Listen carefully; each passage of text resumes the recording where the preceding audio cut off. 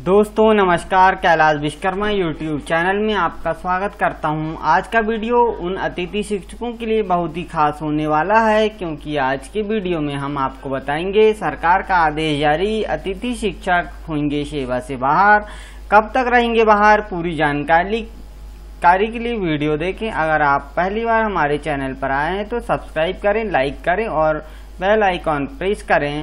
दोस्तों, कार्यालय जिला शिक्षा अधिकारी जिला सिंगरौली, मध्य प्रदेश का आदेश आज तीन जून को जारी हुआ है।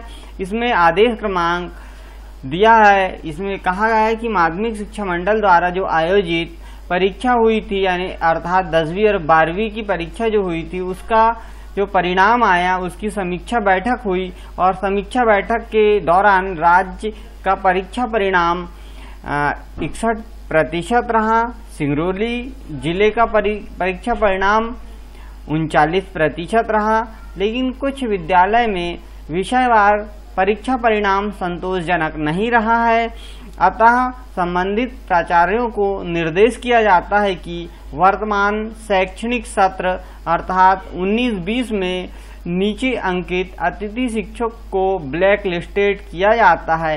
अर्थात जो लिस्ट जारी की गई है, इसमें पूरे स्कूल का नाम, वहाँ प्राचार्य का नाम और विषय जिस अतिथि शिक्षक ने पढ़ाया है, उस ना, उसका नाम और जो उन्हें ब्लैक लिस्टेड कर दिया गया है, जिन्होंने 30 प्रतिशत से कम परीक्षा परिणाम दिए हैं।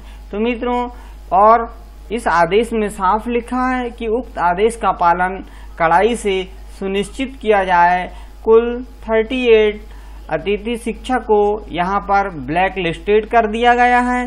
तो मित्रों, यह ब्लैक लिस्टेड का आदेश पारित होने के बाद सभी जिलों में यह लिस्ट जारी होगी।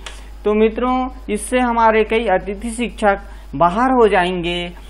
तो हमारी जानकारी आपको कैसी लगी? अगर जानकारी अच्छी लगती है तो आप हमारे वीडियो को लाइक करें, शेयर करें और हमारे चैनल पर यूँ ही बने रहें।